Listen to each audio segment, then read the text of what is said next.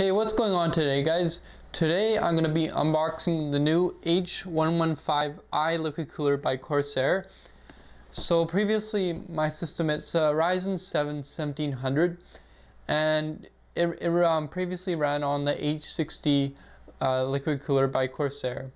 That cooler has a radiator only occupying uh, one uh, a, a fan slot size 120 millimeters. This one on the other hand has a radiator size uh, for two 140 millimeter fans, uh, which makes it 280 millimeters. Anyway, I'm, I'm really hoping this will be a, a good improvement from what I currently have. For example, right now I'm rendering a video in 4K and it's already running at 78 degrees Celsius, which is actually kind of uh, dangerous for a, a, this type of CPU. Hopefully this, I can get some good improvements with this one and uh, yeah, now I'm gonna unbox it and we'll see how well it does. Alright, so let's see what's inside.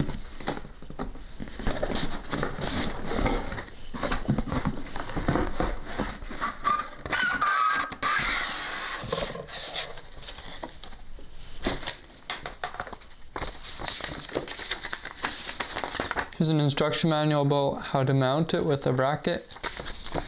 Warranty guide, instruction manual, probably never read those, but that's okay. Oh neat, it came with an AM4 bracket. I actually bought one separately, but I didn't know it actually come with one.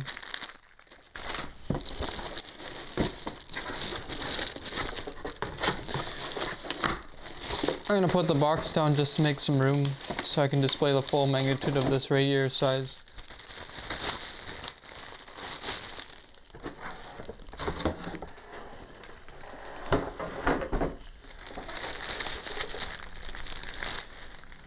Wow, look at the size of that.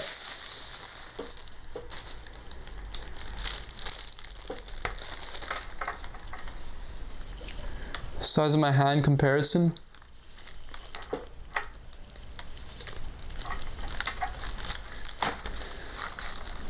Yeah, this is a big jump up from what I had before.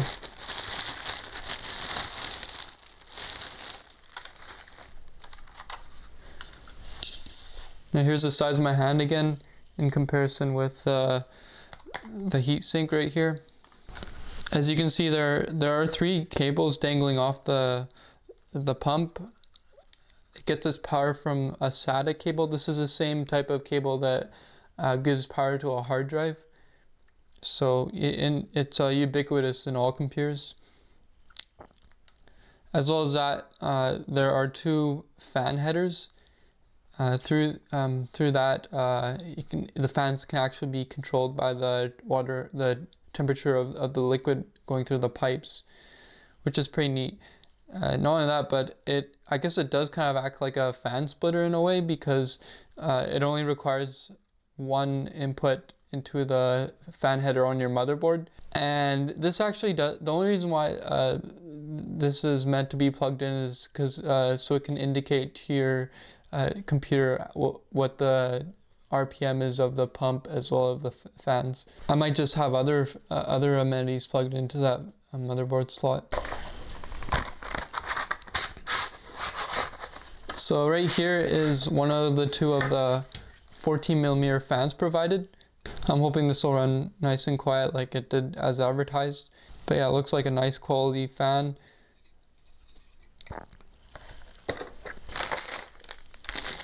Again in here we have uh, brackets for various motherboard types.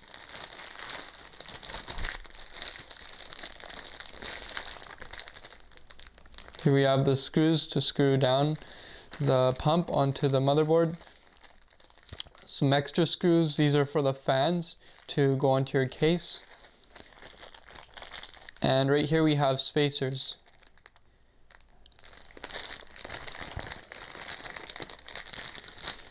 I guess this one right here is a AM4 bracket. Um, so you can use, for example, Ryzen CPUs with this pump. Right here is uh, the cable to plug into the USB 2.0 slot on your motherboard. This allows you to use the Corsair software uh, to control the pump, the fan speed, etc. Right here, I think this is an uh, an LGA, I think 2055. And here's some screws for that as well. So yeah, they didn't, uh, Corsair really didn't lack on giving me enough supplies to securely mount everything. Uh, so when, I'm gonna now mount this in, into my uh, system and uh, well first of all take the old one out and we'll see how it runs. So now I'm going to install the new liquid cooler in the system right here. Unfortunately I did run out of some thermal paste but thankfully Corsair did uh, provide some pre-applied stuff on the base right here. Also uh, I recommend telling you guys doing this uh, to use to get the old residue off uh, make sure you use alcohol wipes any anything other any other water type base may damage the components alcohol is good because it evaporates instantly when you apply it and of course some paper towels as well.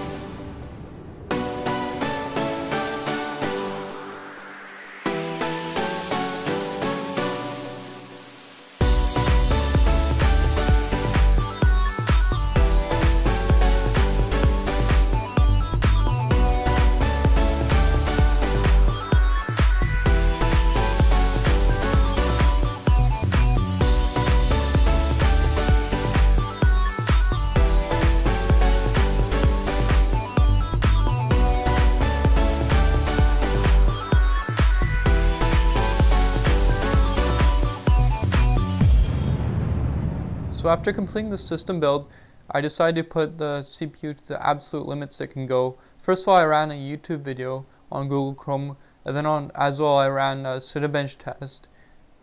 Already this this should push your um, CPU to the absolute limits, but on top of all that, I ran a 4K video render. So this is really demanding uh, incredible amounts from your CPU.